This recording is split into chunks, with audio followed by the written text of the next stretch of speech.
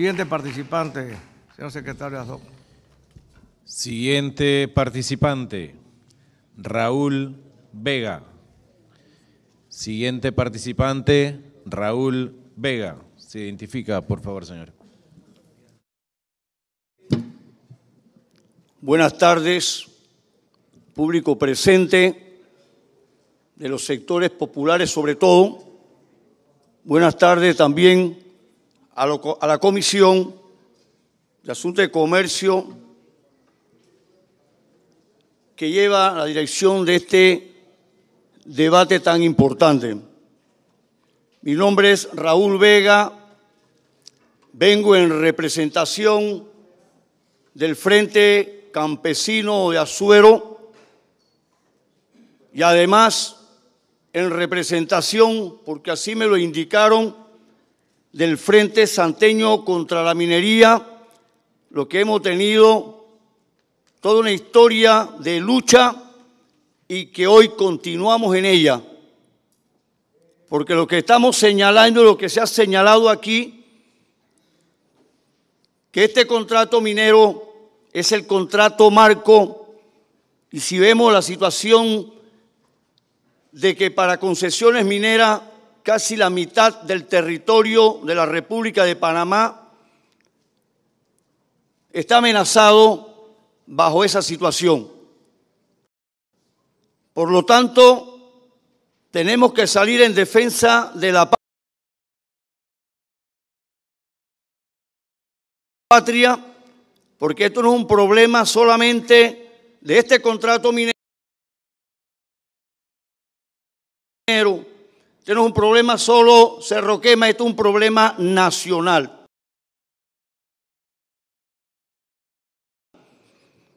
Y yo creo que le corresponde al órgano legislativo, no sé si es mucho esperar, que actúe en consecuencia con los intereses de la patria.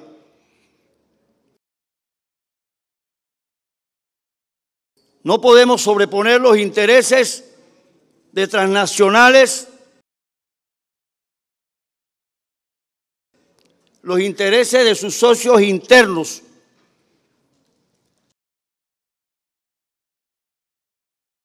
Los gobiernos que son elegidos supuestamente democráticamente deben representar a un pueblo y actuar en consecuencia.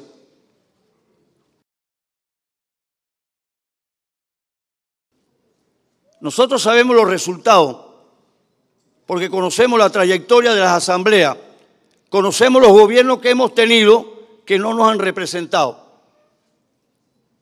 Y les digo que este contrato va a pasar. Quien lo va a detener es este pueblo, que ya ha demostrado su disposición de lucha. En el caso de Azuero, nosotros hemos tenido movilizaciones con la comunidad. Y hay apoyo. Nosotros entendemos el caso de los trabajadores mineros que defienden su derecho al trabajo, porque hay un gobierno, hay un Estado que no le ha garantizado a la población empleos dignos. Y creo que esa es la responsabilidad que se tiene. Aquí están los trabajadores de la mina, hay representación de ellos.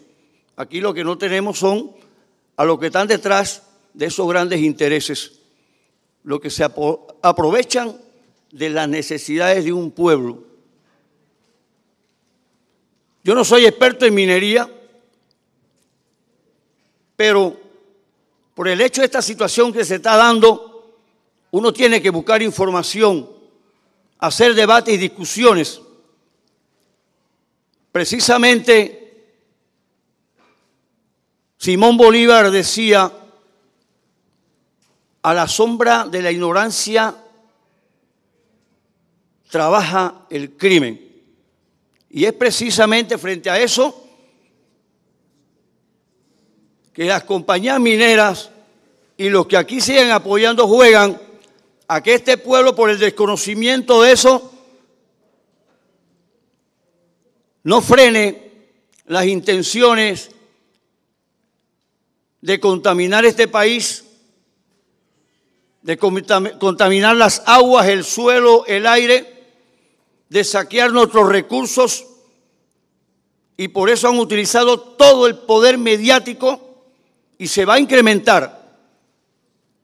Pero a nosotros nos queda, nos queda hacer el trabajo ese que hacemos como aquellos momentos de 1997 que el Frente Santeño contra la minería se trasladó a todas las comunidades a conversar cara a cara con la gente, las amenazas que había para la vida, para las actividades económicas que se realizan en el área, agricultura, ganadería, que están totalmente abandonadas en este país.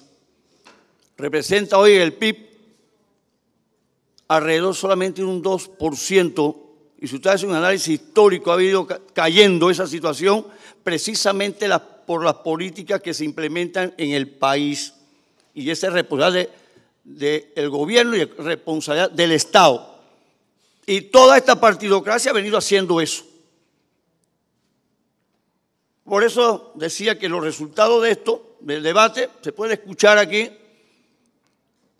inclusive aceptar que tenemos la razón, pero aquí no se actúa frente a la razón, sino frente a los intereses de lo que el sector político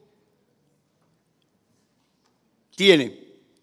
Aquí hay la gente que financia campañas políticas y a, esa, esa a ese financiamiento obedecen.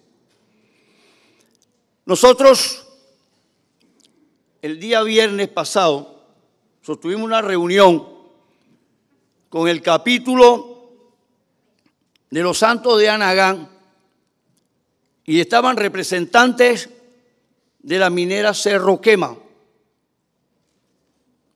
en esa reunión y no pudieron convencer a nuestros ganaderos, en este caso. Hubo planteamientos totalmente contradictorios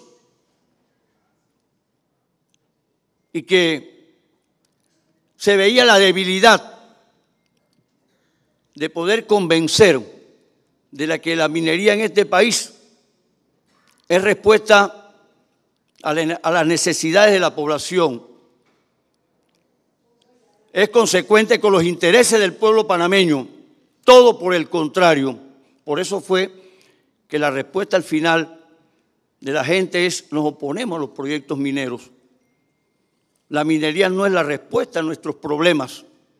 Pone en peligro nuestras actividades porque contamina los ríos que usamos en la agricultura y en la ganadería, porque contamina el suelo que usamos para la agricultura y para, para la ganadería porque sabemos que también el suelo se contamina por el polvo procedente de las áreas mineras.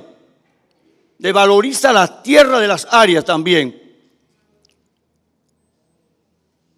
Nadie quiere tener finca cercanos a proyectos mineros por el hecho de los estragos que la misma produce. Yo creo que el, campesinado de todo el país, y no solo el campesinado, todos los sectores en este país, están claritos en que la minería no es alternativa. Por lo que hemos señalado, por lo que aquí se ha señalado. Por eso es que tenemos que prepararnos.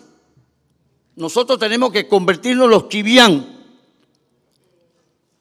que en 1503 enfrenta a los españoles cuando tratan de construir el primer poblado en Santa María de Belén, en la desembocadura del río Belén. Y se levantó en defensa de las tierras, asimismo tenemos que hacerlo nosotros. Defender lo que es nuestro los recursos de este país son para los panameños. Y esto, señores, es un vil saqueo, un descarado saqueo de nuestros recursos. ¿Cómo es posible que hablemos del 2% de beneficio para los panameños? Sin embargo, las transnacionales y sus cómplices internos se llevan el 98%. Yo le decía a un campesino del área si estaría dispuesto a arrendar un terreno y que ese que le arrienda se ganara 98 y a él entregara dos. Jamás estaría de acuerdo. Aunque ahora se plantea de que este proyecto, y eso tiene condicionamiento, porque aquí lo dijeron, va a aportar un poco más. Pero ni aun eso que se plantea no convence. Yo llamo, si aquí realmente hay democracia, yo creo en la democracia participativa. Yo en la representativa dudo mucho por la experiencia que hemos tenido. Hagamos como se hizo en Perú, perdón, en Ecuador, en el Chocó Andino y el Parque Yasuní.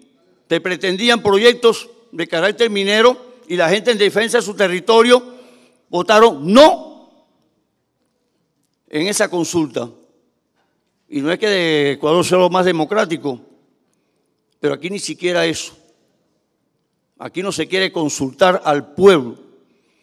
Yo creo que esa es una responsabilidad que se tiene si realmente se gobierna de frente, de cara a los intereses del pueblo.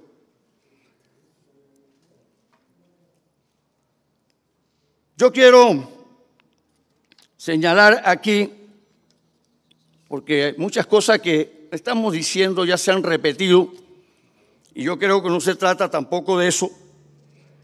Algunos preceptos, artículos de nuestra constitución que es importante señalar. Por ejemplo, el artículo 17 que dice que las autoridades están instituidas para proteger la vida.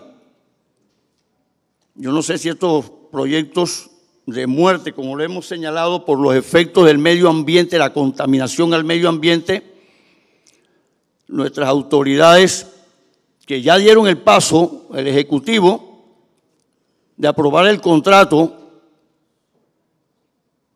hoy aquí no se puede revisar ni una coma ni un punto, es decir, ya dieron el paso aceptando esos proyectos. Yo le pregunto si esos proyectos están en función, protegen la vida, protegen los bienes de los panameños. Si esos recursos son los bienes de los panameños, son los recursos que contamos para nuestro desarrollo. Y si los entregamos, y si los regalamos, y si nos los roban, ¿qué le va a quedar para este pueblo? Porque si así como está establecido, es un robo descarado. Hoy se utiliza la palabra la regalía, que es un eufemismo para decir migajas. Es decir, te robo y de lo que te robé te doy. Eso es. Y eso hay que decírselo a la comunidad, si estamos de acuerdo con eso. Dice el artículo 200. 59 dice, y lo leo,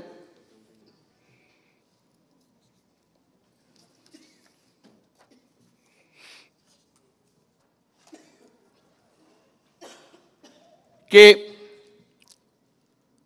las concesiones de explotación del suelo, el subsuelo, agua, bosque, debe estar inspirada en el bienestar social. Surge la pregunta también, ¿aquí hay bienestar social? Inspirado en el interés público, cuando hay un pueblo que se opone a ese proyecto, entonces no está inspirado en eso, ni en el bienestar social, ni en el interés público. Hay un artículo en la Constitución que nos habla del derecho al medio ambiente sano, libre de contaminación. 118 de nuestra Constitución. Esos proyectos garantizan ese derecho a un ambiente sano cuando nosotros sabemos los impactos, no solamente lo que se han dado afuera y que hemos tenido conocimiento, sino lo que ya ha pasado en este país. Y voy a Cerro Quema, proyecto ese que todavía no está en la fase esa de explotación completa, porque todavía también están esperando los resultados de esto para seguir. Ya contaminó los ríos. Es decir, ya tenemos la experiencia de la contaminación ambiental, a lo que le tememos, porque la contaminación ambiental es sinónimo de pérdida de salud o amenaza a la salud, y la amenaza a la salud es amenaza a la vida del ser humano. Entonces no tenemos que esperar a que esto se dé, aunque ya han avanzado bastante, porque estamos hablando de un proyecto que ahora se están buscando un contrato, pero que hace rato vienen operando ilegalmente, violando la constitución. Creo que estas cosas es importante que las tomemos en consideración, que denota la irresponsabilidad con que se nos ha gobernado. Nosotros, para concluir, compañeros y compañeras, nos queda la alternativa, la única alternativa de defensa, de lucha en la calle, donde sabemos que es el escenario donde nosotros vamos a obligar al Estado, al gobierno, a hacer marcha hacia atrás. No podemos permitir la burla, el engaño, no podemos permitir la entrega de nuestros recursos, de nuestra soberanía. La soberanía es parte importante, integral de un Estado, la soberanía. Y no me diga que si usted limita sobrevolar el espacio aéreo cuando el, espacio es parte del territorio nacional, como es la superficie terrestre, el mar territorial, y usted con eso solamente asevere que no se está violando la soberanía nacional. Está claro y es evidente que si hay violación a la soberanía nacional y de otros aspectos contenidos en el contrato. Con eso entonces yo quiero concluir, porque hay muchas cosas más que pudiéramos estar planteando. Por ejemplo, toda la represión, en el caso nosotros que en Azuero, del Frente Santeño en el 97, que fuimos víctimas de la represión brutal en el gobierno de Ernesto Pérez Valladares, que es lo que le espera a este pueblo. La represión, como ya está sucediendo,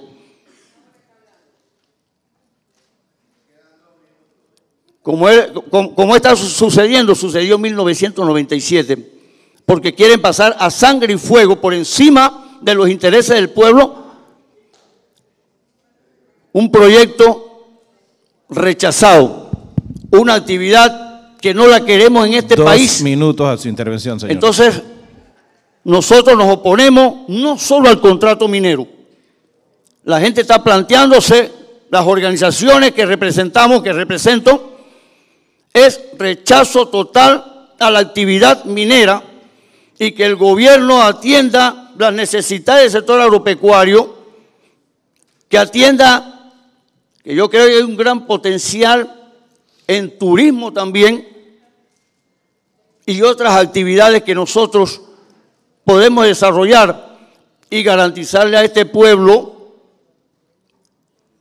trabajo, salarios dignos, actividades económicas sostenibles, porque esta actividad no es sostenible.